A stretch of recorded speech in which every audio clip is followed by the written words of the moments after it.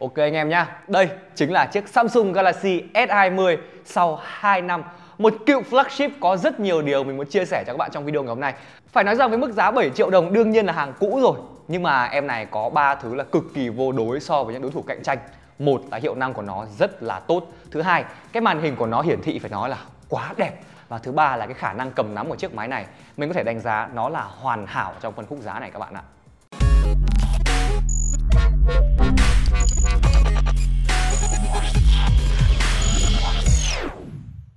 Đầu tiên chúng ta sẽ xét đến hiệu năng của Samsung Galaxy S20 mức giá 7 triệu các bạn nhé.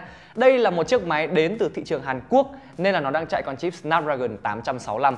Đến bây giờ thì Snapdragon 865 vẫn là một con chip mang lại cho mình cái trải nghiệm chơi game rất là ngon lành và mượt mà. Phiên bản mình đang cầm ở đây thì là có 12GB RAM và 128GB bộ nhớ trong. Tất cả những cái tác vụ mình dùng ấy thì nó rất là ổn, không phải lo kiểu đa nhiệm giật lag hay cái gì cả. Để nói về khả năng chơi game của chiếc máy này thì nó cũng xem xem với những cái con như kiểu là 870 hay là Apple A13 Bionic. Mặc dù là một con chip đã có tuổi đời 2 năm rồi nhưng mà cái khả năng vận hành của Galaxy S20 mình đánh giá là nó ngang bằng và thậm chí là nó còn cao hơn là S22 Ultra nữa cơ. Nghe thì có vẻ rất vô lý đúng không? Mình thì mình cũng không tin đâu cho đến khi mình test tựa game Genshin Impact ở trên cái chiếc Galaxy S20 này. Cả hai máy này mình đều để ở mức setting là 60 FPS cho tựa game Genshin Impact và cái mức FPS trung bình đầu ra của Galaxy S22 ấy, nó còn kém hơn cả Galaxy S20 một chút. 865 vẫn là một con chip mạnh mẽ để cho chúng ta sử dụng trong thời điểm hiện tại. Và đặc biệt là cái nền nhiệt độ của Galaxy S20 trong quá trình mình chơi game nó rất tốt kể cả khi mình quay chụp. À, Trừ khi mà mình quay chụp rất lâu trong điều kiện nắng chói chang ấy, thì nó mới nóng đến cái mức mà ra tay mình cảm nhận thấy được. Còn đâu thì mình thấy rằng là nó cũng chỉ loanh quanh ở mức khoảng 37-38 độ C thôi các bạn ạ. Điều thứ hai cần phải nói đến đó là cái màn hình của chiếc máy này nó quá đẹp. Thứ nhất, nó vẫn là một chiếc máy sở hữu tần số quét là 120 Hz và độ phân giải là 2K.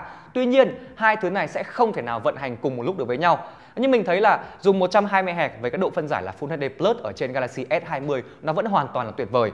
Các bạn xem Netflix ở trên Galaxy S20 ấy mà thì nó thật luôn, các bạn chả có điểm quái gì phải chê cả. Bốn viên màn hình của nó thì cũng mỏng gần như là đều nhau với hai cái cạnh viền này nó được làm tràn xuống một chút xíu. Nó đảm bảo sự sexy và không gây quá nhiều những cái sự khó khăn cho chúng ta trong quá trình sử dụng. Và nói tóm lại mà trong cái mức giá khoảng 7 triệu đồng khi mà các bạn mua cái chiếc Galaxy S20 này ờ, với những đối thủ khác như là iPhone XR này hoặc là Poco F3 không tính tiền các bạn ạ. À nhưng mà lưu ý giúp mình một điều nhá, đó là mua S20 bây giờ thì đương nhiên là các bạn chỉ mua được hàng cũ thôi. Thì mình đang mượn tại cửa hàng XT Mobile. Ngoài ra thì XT Mobile cũng có bán thêm rất nhiều những cái chiếc máy sách tay khác, ví dụ như là Note 20 Ultra giá chỉ 14,2 triệu có hỗ trợ thu cũ lên đời trợ giá đến 1 triệu đồng mà nếu như các bạn quan tâm thì có thể truy cập đường link bên dưới phần mô tả. Nên kiểm tra giúp mình thật là kỹ, bởi vì là màn hình OLED của Samsung ấy thường nó sẽ bị một cái lỗi, đó là bị ám màn hoặc là nó sẽ bị lưu điểm ảnh. Nếu như mà các bạn gặp những cái trường hợp như thế thì đương nhiên là chúng ta phải thay màn hình thôi, mà cái tiền thay màn hình Samsung chưa bao giờ là rẻ cả. Vừa rồi thì chị nhà mình cũng vừa mới thay một cái màn hình của con Samsung Galaxy S20 Ultra. Vừa ăn trưa về xong một cái là cái màn hình con S20 Ultra nó thành như thế này luôn. Đấy, cũng chả hiểu kiểu gì Và đi thay mất 3 triệu 9 các bạn ạ. 3 triệu 9 đấy. Nên là mua nhớ check kỹ cái này giúp mình nha. Lẽ ra là mình sẽ nói về cái khả năng cầm nắm cũng như là thiết kế của Galaxy S20 trước nhưng mà thôi, mình sẽ giúp các bạn làm rõ về cái phần này, đó là camera của nó hiện tại còn giúp cho mọi người chụp ảnh ngon nữa hay không. Góc rộng, góc thường, các bạn có thích chụp tele thì cũng có thể zoom đến mức là 30x. Để nói về nước ảnh của Galaxy S20 thì nó vẫn rất là trong trẻo, đậm chất Samsung, chi tiết tốt, màu sắc tách bạch, HDR của máy hoạt động hiệu quả và các chi tiết vân mây ở vùng trời thì không bị cháy sáng. Bên cạnh đó là cái tốc độ chụp lẫn khả năng xử lý ảnh của Galaxy S20 tại thời điểm này thì mình vẫn đánh giá nó khá là tốt đây. Về ảnh chụp đêm của Galaxy S20 thì mình cũng không có quá nhiều điểm phải phàn nàn trong phân khúc giá là 7 triệu đồng vì nó cho chi tiết tốt này. Ở những cái vùng cháy sáng thì được xử lý rất là ngon, cũng như là những cái biển quảng cáo đây các bạn nhìn thấy thì mình vẫn kéo được những cái màu sắc mà nó không bị sai lệch đi quá nhiều. Tuy nhiên khi chuyển sang những cái điều kiện ánh sáng phức tạp, ví dụ như là trong nhà đi, thì nó có bị cân bằng màu sắc sai một chút xíu nhưng mà nhìn chung là vẫn ổn. Còn về khả năng quay phim của Galaxy S20 thì mình sẽ để cho các bạn tự đánh giá qua một đoạn video mình quay ở đây. Độ phân giải sẽ là 4K và 30 fps. Con này được một cái là khi mình cầm mình quay nhá thì nó rất là nhỏ gọn nên là mình cầm chắc cực các bạn. Đây. Đây là các chi tiết của máy này, thấy không? Chạy một tí. Sao vậy này?